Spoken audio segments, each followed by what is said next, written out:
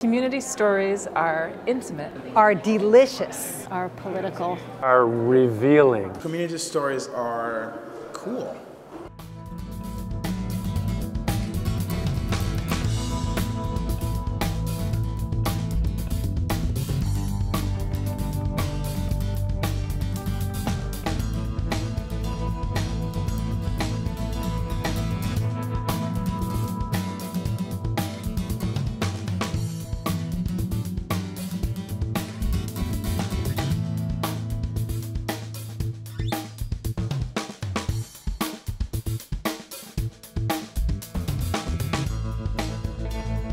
To be screening in the big theater was really exciting and it was just it was incredibly exciting to, to see our film up there and to see our characters up there live and come to life and be luminous on the screen it was, it was just beautiful.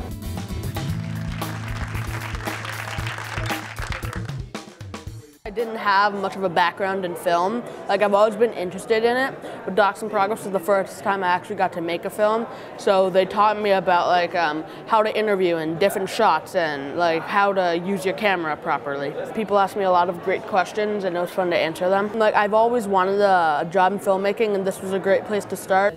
I'm really interested in storytelling, so that's what brought me to Docs in Progress. Now I feel like I have like the confidence to kind of take this even further and really kind of capitalize on the ideas that I've had for like many, many years now. And what I think is most important about these films is that they showcase our community so beautifully.